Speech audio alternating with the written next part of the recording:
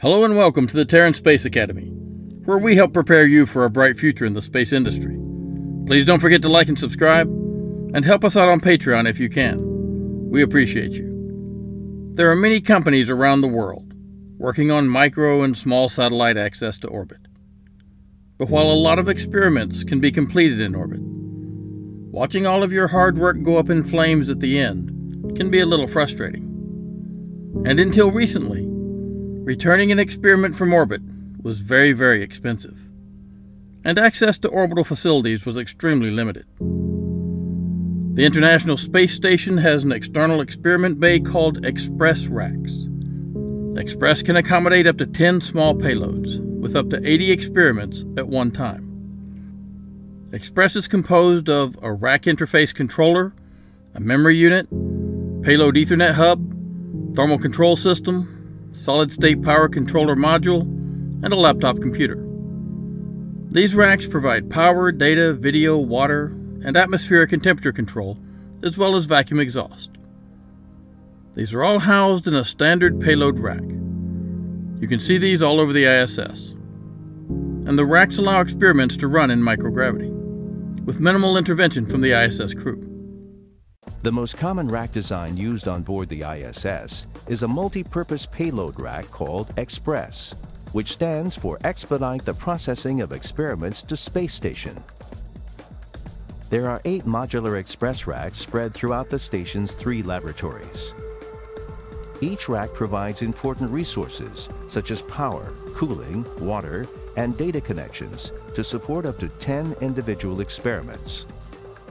The versatility of the express racks makes them ideal for conducting physical, chemical, and biological experiments in microgravity. The Binary Colloidal Alloy Test, or BCAT, researches how liquids and gases separate, or alternately, come together. Astronauts also study the patterns that emerge when solids are suspended in liquids. What scientists learn from BCAT observations may be used to create better stabilizers that extend the shelf life of food, products, and medicines here on Earth. Biological science is also researched in the express racks.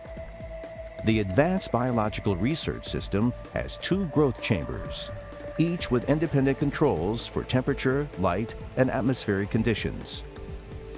The chambers are used to grow various organisms, like plants, small insects, and microorganisms. The Commercial Generic Bioprocessing Apparatus, or CGBA, enables automated processing for the microscopic study of protein crystal growth, bacteria, and cell cultures. The CGBA also houses insect habitats and plant development modules. These two examples of biological research systems will help scientists gain a better understanding of how organisms develop and respond in various conditions.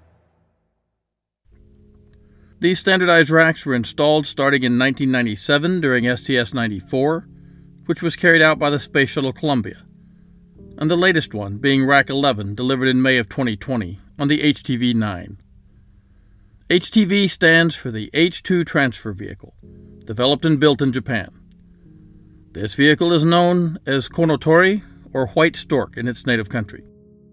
This is an unmanned cargo transfer vehicle that began delivering supplies to the International Space Station in 2009. It has a launch mass of 16,500 kilograms and a dry mass of 10,500 kilograms, leaving 6,000 kilograms or 6 metric tons for cargo. It has a pressurized volume of 14 cubic meters and is 9.8 meters by 4.4 meters. The problem with the HTV was that it couldn't bring anything back to Earth, and it wasn't meant to. The last flight of the HTV carried unneeded mass like trash and some nickel hydrogen batteries and burned up after deorbiting. The HTV has been replaced by the HTV X, which is scheduled to be launched in January of 2024. But if you want to bring something back from the ISS, you have two choices right now. The Soyuz capsule, flown by the Russian company Roscosmos, which may not be customer friendly to Americans or Europeans right now, and the Dragon capsule, flown by SpaceX, which is still running smooth, despite the company's owner's recent distractions from his space goals. But there is a new player in the space industry China has been performing in orbit experiments on its space stations and bringing them back down on Shenzhou spacecraft.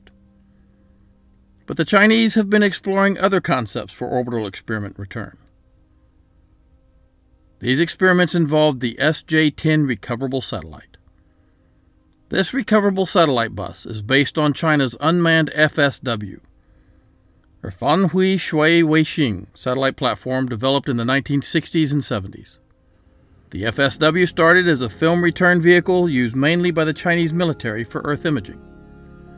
FSW was also once considered for a crewed capsule design, but these plans were abandoned because of the vehicle's rough re entry profile. The SJ 10 satellite has a mass of 3,600 kilograms and can carry up to 600 kilograms of experimental cargo. On the 5th of April 2016, it first launched on a Long March 2D, also called the CZ 2D, from China's Jiuquan Launch Center in Guangzhou Province. Normally, the 2D can only lift 3,500 kilograms to orbit. But the SJ 10 does not need a payload fairing having an aerodynamic protective outer shell integrated into the spacecraft. It carried 20 experiments to the microgravity environment of space. SJ 10 went into a low Earth orbit at a 43 degree inclination, with a perigee of 220 kilometers and an apogee of 482 kilometers. The experiments covered fluid physics, effects of radiation, material science including crystal growth, neural stem cell maturation, plant germination, and most importantly, embryonic development in the microgravity environment. It turns out that while the physiology of living organisms has been studied in the space environment, the potential effect of weightlessness on the reproductive system in most species, and particularly mammals, is still limited. The SJ 10 satellite carried two and four cell mouse embryos into space and allowed them to develop for 96 hours in a monitored environment. These experiments were completed and on April 18, 2016, the SJ 10 returned to Earth and landed in Inner Mongolia. This makes the embryos available for genetic studies, allowing scientists to search for genetic mutations and methylation changes. This would not be possible without advanced equipment available on Earth. But while the SJ 10 is expensive, it is also very large and owned by a non commercial interest. Let's look at the innovating companies that are trying to bring this service to market right now.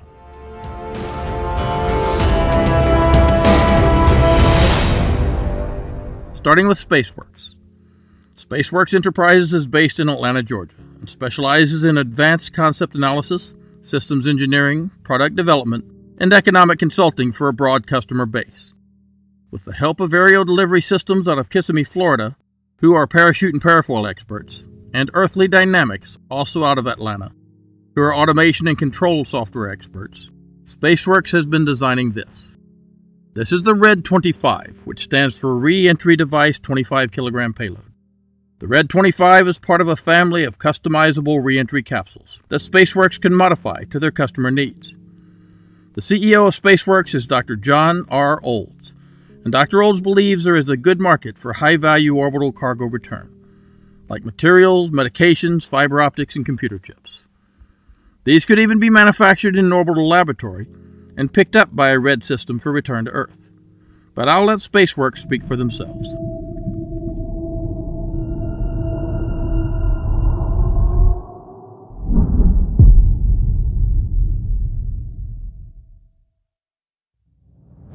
Mankind looks for answers, we often look up.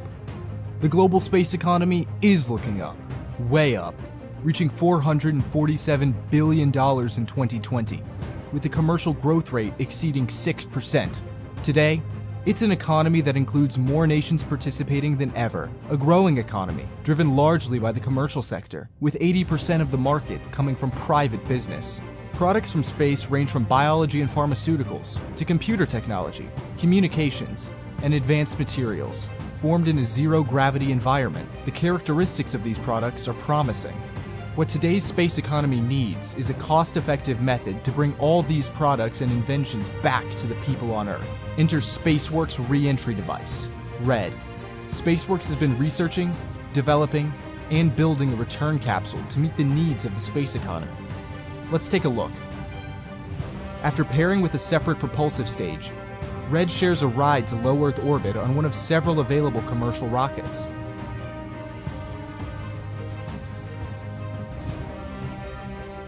After receiving the payload and performing a controlled deorbit burn,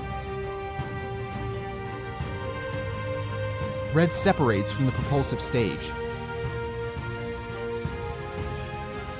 On the wings of a guided parafoil, the capsule re enters and precisely lands in a predetermined recovery zone. Space payloads and products are returned to Earth on demand. Our technology is nearing readiness for spaceflight. We've been working with government sponsors, as well as making our own investments in Red. We've tested our capsule, brought a payload from near Earth orbit, and landed it safely and precisely. In addition to our Red 25, holding 25 kilograms of payload, about 55 pounds, we've designed other models, depending on cargo size. The future of cost effective, on demand payload return is now. Will you join us in taking RED to low Earth orbit?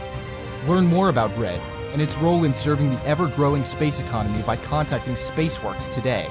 Until then, keep looking up. Another company with innovative orbital cargo return plans is Outpost Space. Jason Dunn is the CEO of Outpost, which was founded in 2021 with Aaron Kemmer, Maiden Space co founder and former chairman, and Michael Vergalla. Formerly worked with Moon Express, Spin Launch, and Airbus A3. Airbus A3 is a giant innovation center in Silicon Valley. Vergalla is also the founder of Free Flight Research Lab, a nonprofit focused on using paragliders for science, technology, and conservation.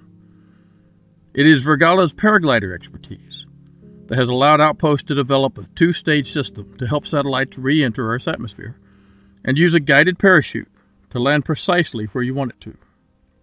Outpost plans to return satellites from orbit weighing about 200 kilograms by using an inflatable heat shield. Inflatable heat shields were developed by NASA as a possible solution to aero capture and reentry on Mars. Carrying enough propellant for the delta V change needed to land on Mars is very difficult. Carrying a lightweight inflatable heat shield that allows you to aerobrake with a very large surface area turns out to be a really good idea. NASA designed and tested the LOFTID Reentry spacecraft. LOFTID stands for Low Earth Orbit Flight Test of an Inflatable Decelerator, and it was launched on November 10th of 2022 on a United Launch Alliance Atlas V rocket. Let's watch how this went with a video put together by NASA Space Tech. Live from the central coast of California, this is NASA's JPSS-2 and LOFTID, which will demonstrate a new type of heat shield that inflates for atmospheric reentry.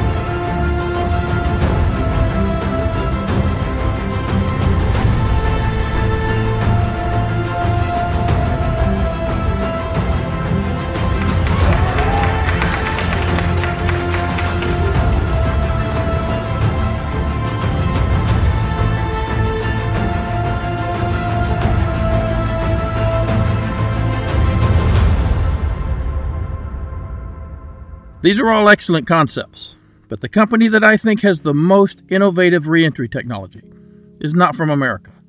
It's from Malaysia. Dr. Izmir Yamin is a brilliant scientist, working tirelessly to put Malaysia on the map as a spacefaring nation. Malaysia is a beautiful nation located here and has a population of a little more than 32 million people. Dr. Yamin was born and raised in Kuala Lumpur, Malaysia. Since the age of seven, he's been fascinated by computers and flight particularly spaceflight. During the space shuttle era, he was amazed to learn that humans had actually been to the moon and back, and began learning about the Apollo missions. He also developed a passion for aircraft. As a child, he first experimented with a homemade newspaper kite and recorded that he flew up to 80 meters in altitude. He then made balsa wood hand launched gliders that flew across 120 meters, graduating to homemade water pressure powered rockets that went up to 150 meters and came back with a parachute. Around the age of 15, he got into coding and wrote his first program, a basic search engine. Then he wrote a software based indexer to avoid the clutter of keeping multiple business cards, documents, and faxes. He won a series of Microsoft competitions, leading to him personally meeting Bill Gates. He then went on to win state level physics competitions with his rocket designs and began to wonder about sending satellites into orbit around the Earth. He was fascinated at a satellite's ability to map the entire planet and provide global communications that enhance the lives and businesses of everyone around the world. This led Izmir to pursue a degree in aerospace engineering. During his university days, he designed and built all sorts of propulsion systems including pulse jet engines and solid, liquid, and hybrid rocket engine systems. He was able to launch over 50 of these designs, reaching a maximum altitude of 2.7 kilometers. In college, he also became interested in the design and construction of hydrogen fuel cells, and used these to create hydrogen powered unmanned aerial vehicles, which had a wingspan of 5 meters and could fly for extended periods of time. Hydrogen has a lot of potential as a fuel source for aviation.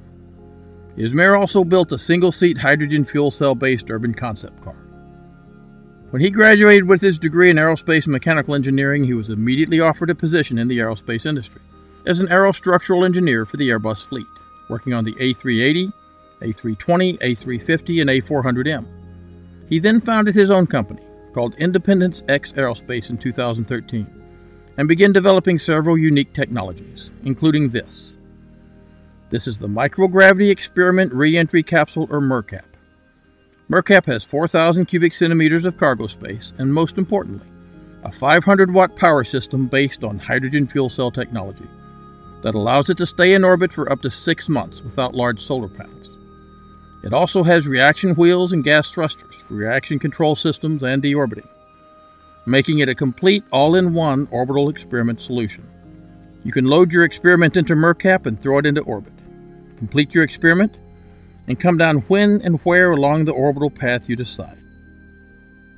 The MERCAP uses a ceramic reusable heat shield instead of an ablative non reusable. And we personally think that Independence X Aerospace and Dr. Izmir Yamin have the most immediately viable commercial concept. And his ideas have been getting a lot of attention, especially in Europe, where a lot of new space companies are being founded. But competition is always a good thing in the space industry, and we hope that all of these companies will start providing concierge service from orbit back to Earth, so that eventually orbital experiments and manufacturing will be accessible to everyone. Thanks for listening. Don't forget to support us on Patreon and stay safe. Ad Astra Pro Terra.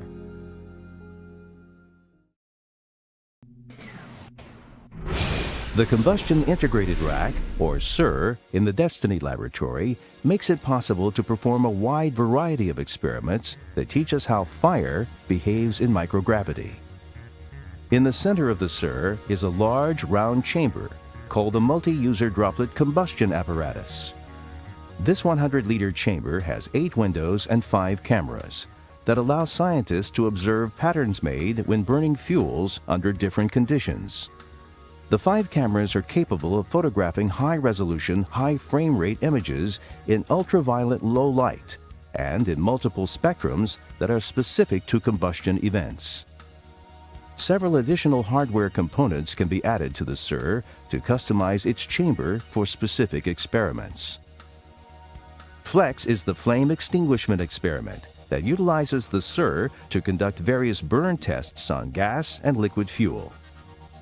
It also tests the effectiveness of different methods for extinguishing the flames from the test. ISS provides a sustained microgravity environment, which allows scientists to observe the geometric, chemical, and thermodynamic properties of both the flame and the fuel droplet inside the burn chamber. Under these conditions, we can advance our fundamental understanding of how fuels burn in microgravity, as well as on Earth. This research will be used to better address fire hazards associated with liquid combustibles. The wealth of information obtained from the test in FLEX will also help scientists on Earth solve problems with pollution that is generated by combustion. The many different experiments in the combustion integrated rack will help engineers increase the efficiency of gasoline and diesel engines here on Earth, and will also help us understand fire prevention and suppression.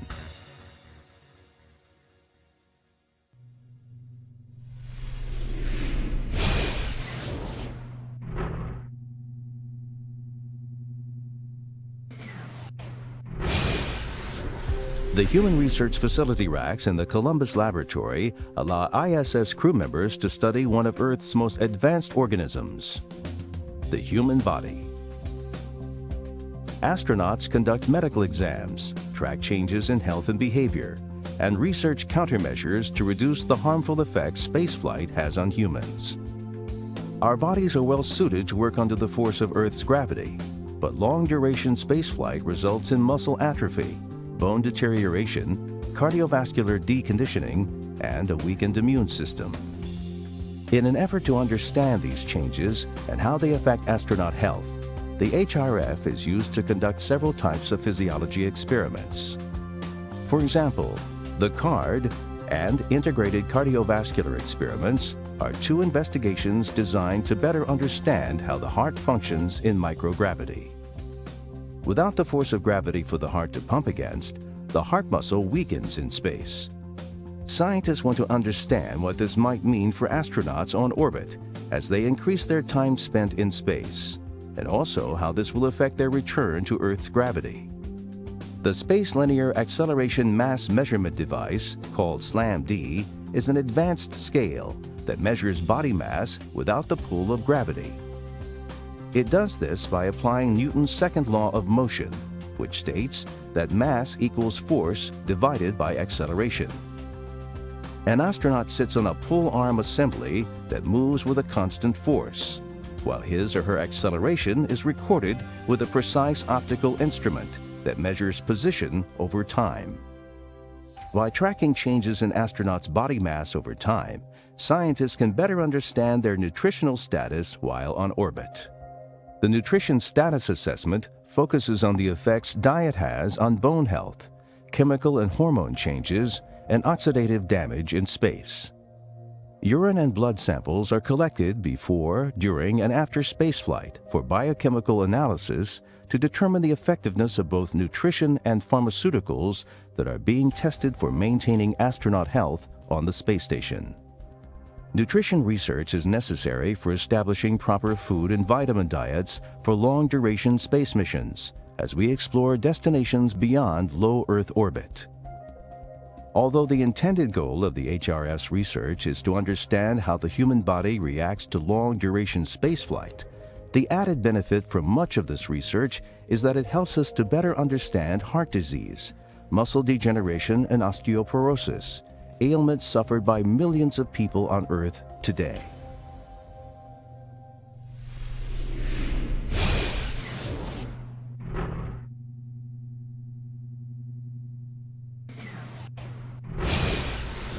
The Microgravity Science Glove Box, located in the Destiny Laboratory, provides 9 cubic feet of enclosed workspace for conducting a wide variety of experiments that require liquids, combustion, or hazardous materials. ISS crew members can safely use its rugged gloves to work in a sealed environment without the risk of releasing any small parts, particles, fluids, or gases into the rest of the laboratory. The Structure and Liftoff in Combustion Experiment, or SLICE, utilizes the MSG to study and work with fire in microgravity. SLICE allows astronauts to photograph and measure the shape and temperature of flames produced by various fuels and sizes of burner nozzles. These assorted flame shapes and sizes are then modeled to help scientists develop more efficient engines and furnaces here on Earth. The MSG is also used to conduct the BASS experiment, which stands for Burning and Suppression of Solids. Instead of measuring flames from burner nozzles, the BASS experiment observes and models the geometry of flames on solid spheres and flat surfaces. These controlled fires are then extinguished in a variety of ways to look for the best strategy to use for suppressing flames in microgravity. Improved fire detection and suppression systems for use on Earth and the ISS can then be designed from this information. The MSG is also used to accommodate tests for heating liquids in the boiling experiment facility, a small container that includes two types of heating arrays, high-speed video cameras, and a variety of tools for measurement. Experiments in the BXF try to determine critical heat flux, the point at which a heat source becomes so hot that the liquid can't actually touch it. Interestingly, the information from the study of critical heat flux is used to design enhanced cooling systems. The BXF's heating arrays are also used to study the shape and buoyancy of bubbles. The high-speed cameras in the BXF capture the growth, detachment, and motion of two types of vapor bubbles, small individual bubbles and larger bubbles that have merged together. Without the microgravity science glove box aboard the ISS, there wouldn't be a safe way to work with dangerous materials and conditions to carry out these compelling experiments.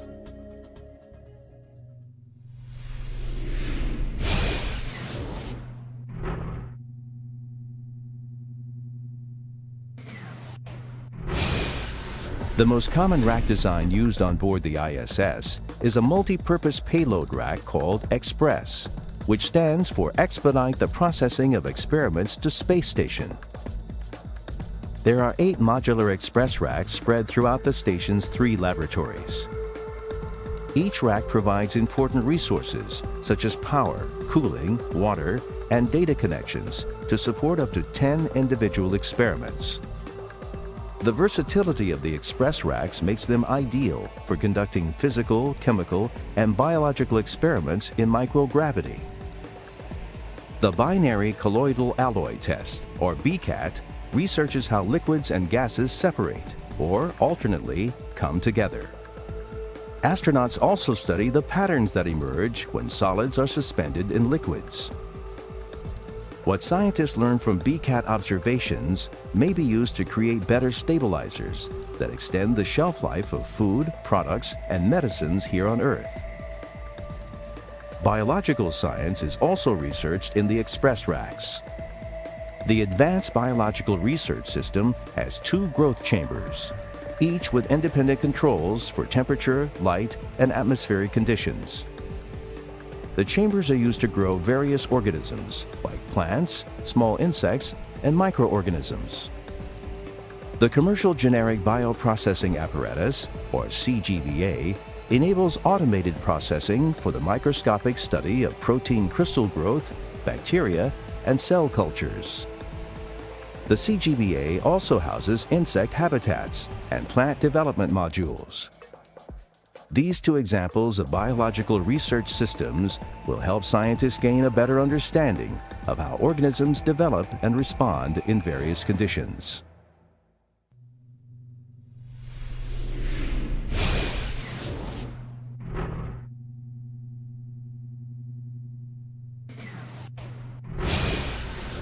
Many of the experiments that take place on the International Space Station require either the use of or actually produce biological samples. In order to preserve these samples for their use in various tests or their eventual return to Earth, scientists at the European Space Agency developed a specialized freezer rack called MELFI, or the minus 80 degree laboratory freezer for ISS. Unlike most of the other research racks aboard the ISS, the Melfi racks are not actually used to conduct specific experiments.